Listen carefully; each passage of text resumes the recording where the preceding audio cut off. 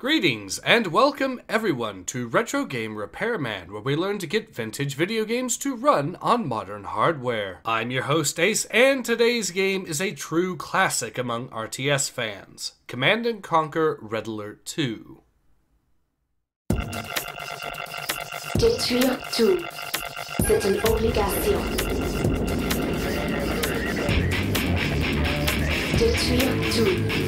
C'est une obligation.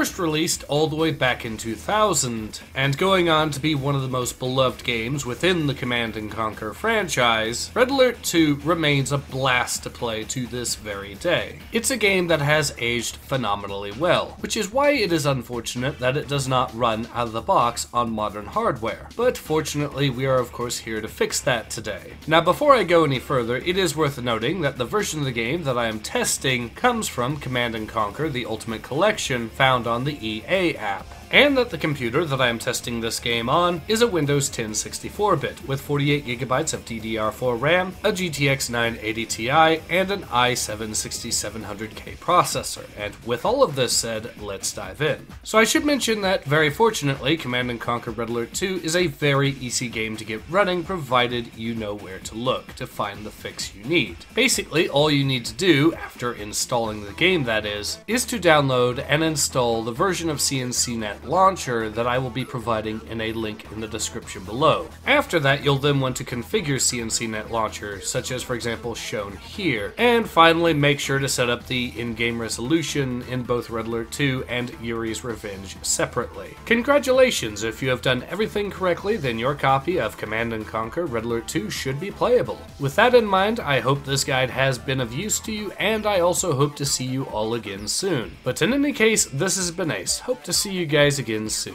Take care. Ace out.